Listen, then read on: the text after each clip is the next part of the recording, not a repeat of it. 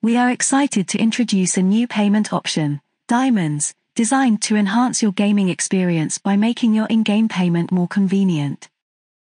We would like to take this opportunity to explain the various aspects of diamond payments in detail so that you can quickly get familiar with this new feature. Let's get started. What are diamonds?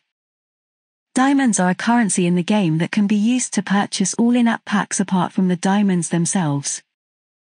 How to top up diamonds? Currently, we offer the following two options for Diamond Top-Up. The first option is via Official Top-Up Center.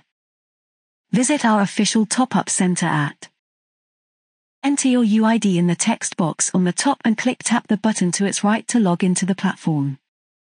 You can find your UID at the bottom of the Lord profile page in the game. After logging in, Make sure to double-check the character information before conducting any payments in case you accidentally top up the wrong account.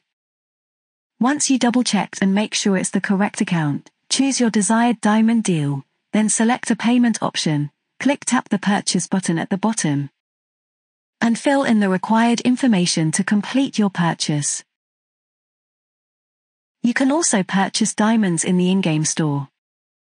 Tap the gold coin icon on the top right of the game's main interface to enter the store, then swipe the rightmost section down to the bottom to find the Diamond tab. How to purchase with diamonds.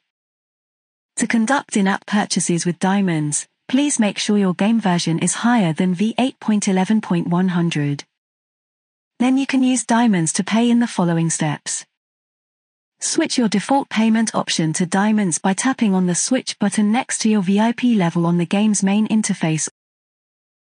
After successfully switching to Diamond payment, you should be able to see your Diamonds balance at the store, and will be paying Diamonds when purchasing packs. Select your desired pack and tap the Purchase button to purchase it with Diamonds. You can always switch between paying through normal purchases or Diamonds. That's all for this video, thanks for watching.